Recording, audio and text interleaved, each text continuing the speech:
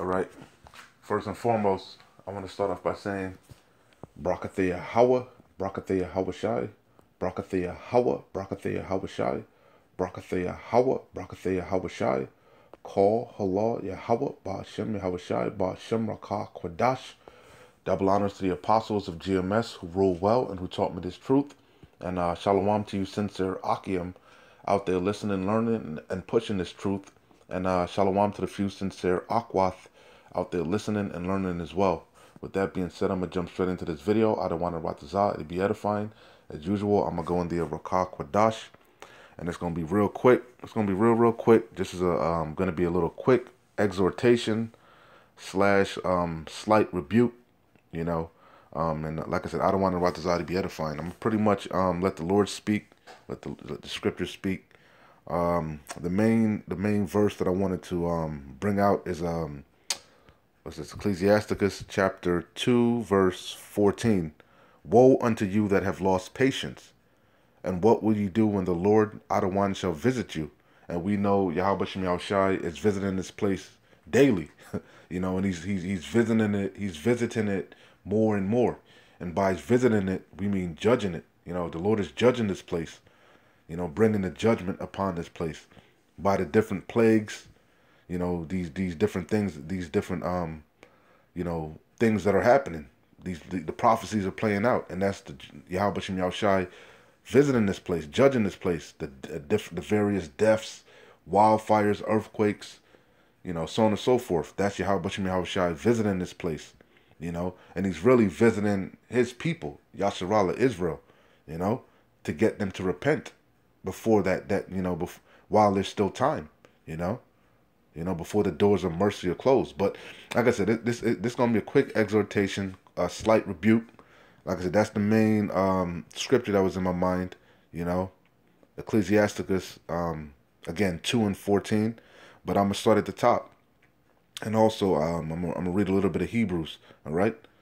So this is um, Ecclesiasticus 2 and 1. My son, if thou come to serve the Lord, prepare thy soul for temptation. And we know that. It's a straight gate. You know, the Lord is going to constantly test you and try you. But that's to, um, you know, get out all those impurities, build your faith so that you'll be able to stand in this this this time that's coming, you know. And what what what helps us build our faith? The, the, these scriptures, you know, the, these precepts, it comforts us, you know, you know, because the Lord declared the end from the beginning. You know, we're not ignorant of Satan's devices. Yahweh Shai, Shai, you know, gave us the ISOF. He gave us the playbook, you know. And everything is playing out just the way Yahweh Shem Shai prescribed. But guess what? If you come in to serve the Lord, hey, you better prepare yourself to catch hell. You know, it is what it is. You know, the servant is not above his master. Yahweh Shai caught the, the most hell, you know, you know, and, and hey, it's an honor for us to, to, to, to, to even be able to taste a little bit of that cup that Yahweh Shai uh, taste drunk of, okay, you know, you see, so it says, My son, if thou come to serve the Lord, prepare thy soul for temptation. Set the A, and the ultimate temptation is going to be, is drawing nigh, the hour temptation. When Esau Edom makes that RFID chip, RFID chip mandatory per Revelation 13 and 16, the charagma, you know, that's the ultimate test, you know. You know, the households are going to be divided in at times over it, you know. You know, it's going to be, it's to get real. So it says, set thy heart aright. Your heart is your mind, your lob you know, as it says, gird up thy loin like a man, he will require it of thee. You know, count the cost. You know, now is the time to be, you know, you know, getting your mind right for what's about to take place on this earth, per Daniel 12 and 1, a time like never before. But uh, but each day the Lord tests us anyway. He gives us little tests, little tests, you know, and it's to it's to build us up, you know, make us stronger. You see? So it says, set thy heart aright and constantly endure. And that's that's why I said it's a slight rebuke for you, the ones of you that took your hand from the plow. You're not fit for the kingdom, man. Okay, you got to keep pushing. You got to endure to the end. Whatever the Lord throws at you, you just got to take it, man. And it's gonna say, take cheerfully. You know, smile. The water, the water, much y'all? Can I have another? You know, because the Lord is not gonna tempt you more than you can bear. You know, He always makes a way. He always makes it a way uh, able for you to escape. You know, He's not gonna put more on you than you can handle.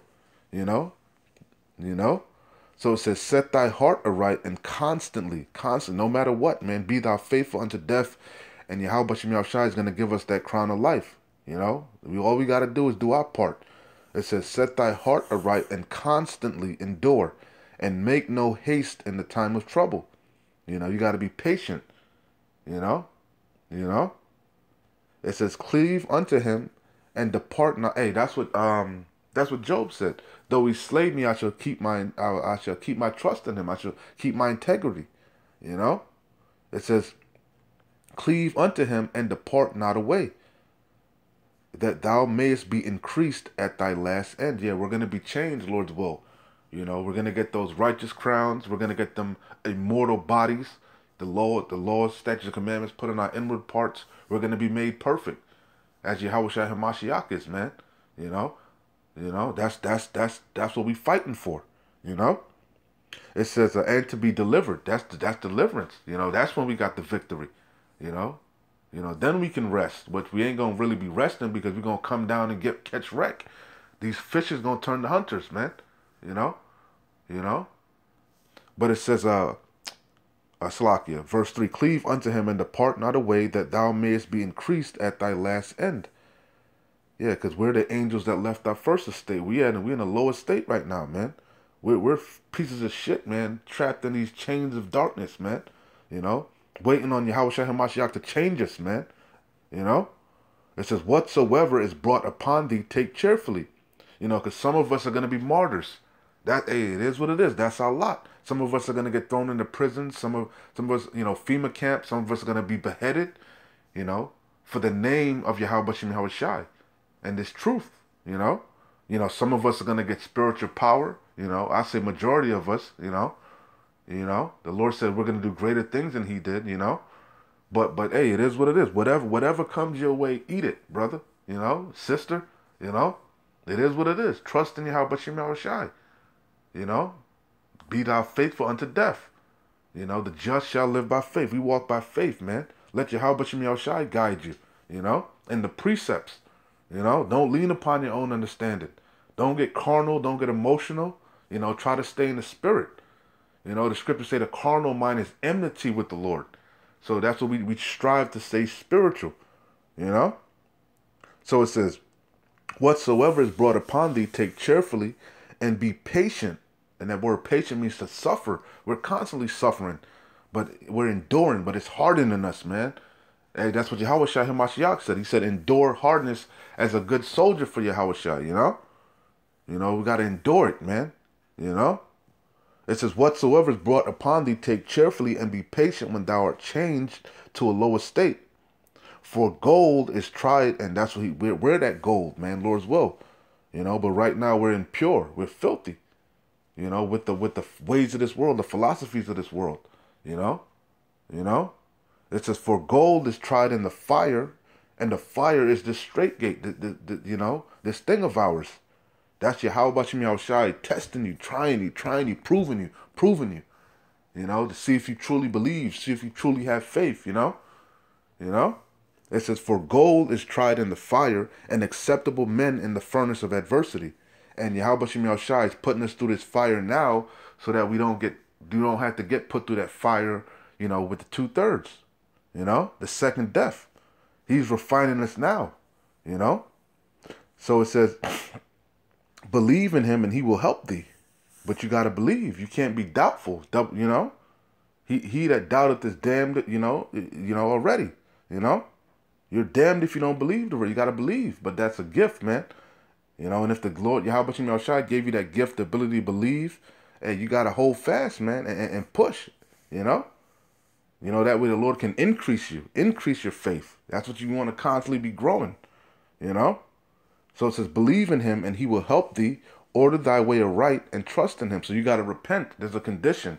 You got to, you know, you know, try, fight, put off that old man. Rehearse the righteous acts. Try your best to, you know, you're going to fall, you're going to fall, but keep pushing, keep pushing, keep on pushing, man. You know, the end is not yet. You still got time. The doors of mercy are still open. You know, there's still yet a place of repentance. You know, you know. So it says, believe in him and he will help thee. Order thy way aright and trust in him. Ye that fear the Lord, Yahweh, wait for his mercy and go not aside lest ye fall. And that's the key. You got to fear the Lord. The fear of the Lord is the beginning of wisdom, knowledge, and understanding. You know? You know?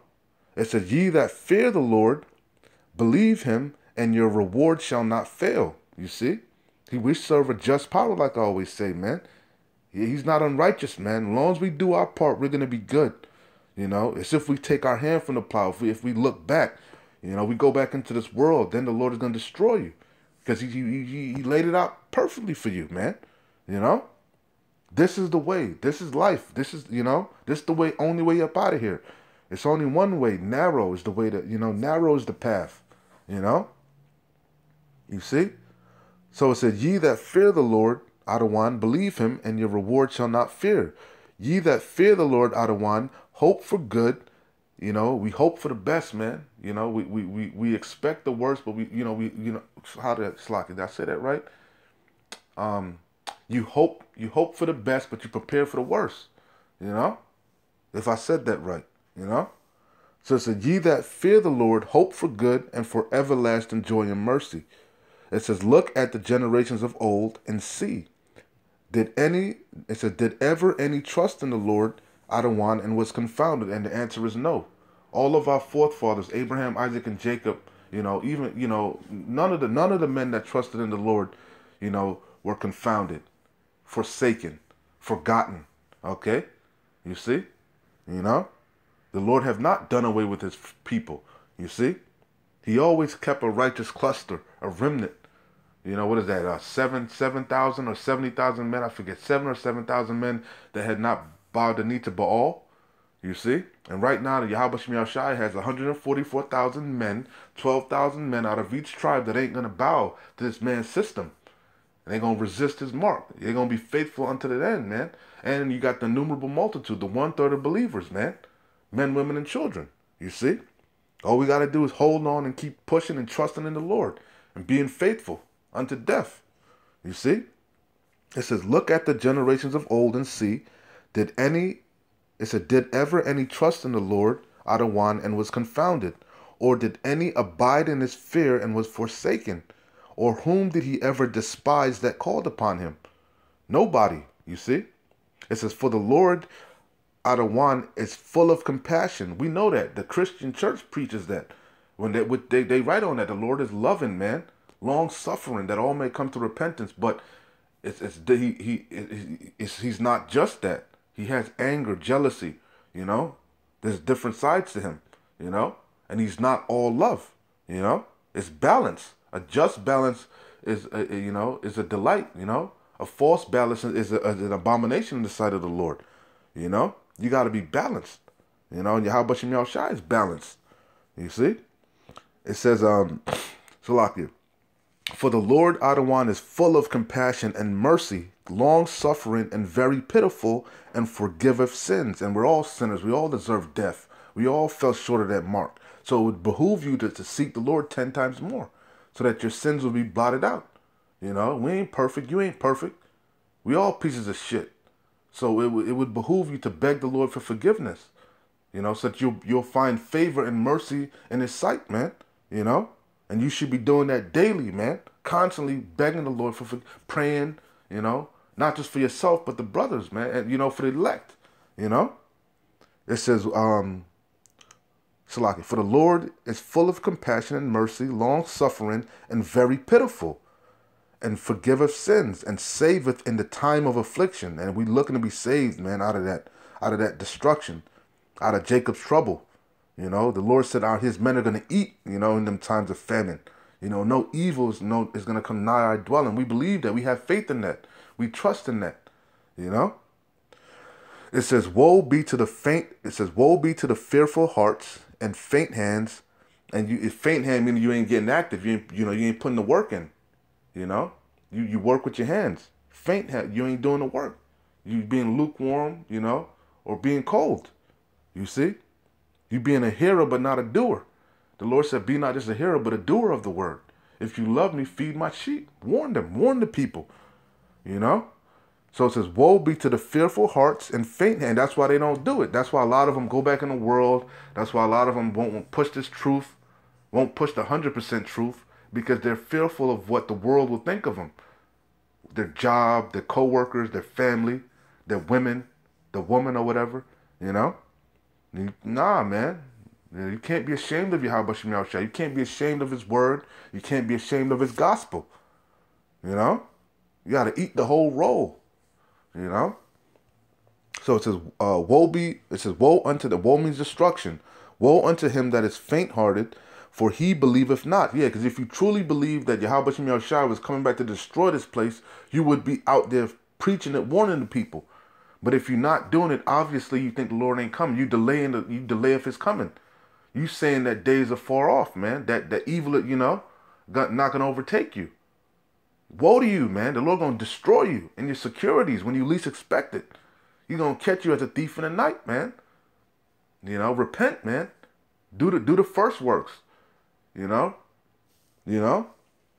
It says, um, um, woe be to the fearful hearts and faint hands and the sinner that goeth two ways. A double-minded man is unstable in all his ways, man.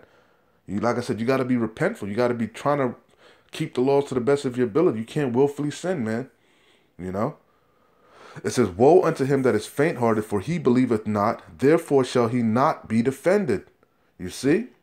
In order to, you got to believe, man. You got to trust the Lord. Woe unto him that is faint hearted, for he believeth not. He ain't did no works. He ain't been warning the people. He don't really believe. You see? Therefore shall he not be defended. Or he stopped doing the work. He went back in the world. He turned his, he, he, he took his hand from the plow. You see, he not fit for the kingdom. He don't believe. He don't believe the Lord is coming any day now. You see? You know? It says, it says, Woe unto you that have lost patience. And a lot of brothers and lost patience. A lot of sisters, brothers, going 1969 on on, man. The 1999 Israelites, 2000 Israelites. You got Israelites fell out after the 2000s, 2005, 2016, 7, on on. A bunch of people done lost patience, man. You know, they say the Lord delayeth his coming, man. You know, they took that talent and put hid that shit up under the napkin. They forgot we done with an austere man. The Lord finna fuck you up, man. He requires his money with usury interest, man. You see? You gotta flip that talent, man.